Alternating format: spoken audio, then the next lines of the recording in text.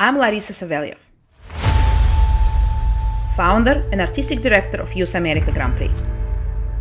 2020 was a challenging year, and those young dancers rose to the challenge. They are resilient, dedicated, and most importantly, they still have a hope. YAGP is giving them a platform to do what they cannot live without dance. Join us in helping them reach their dreams.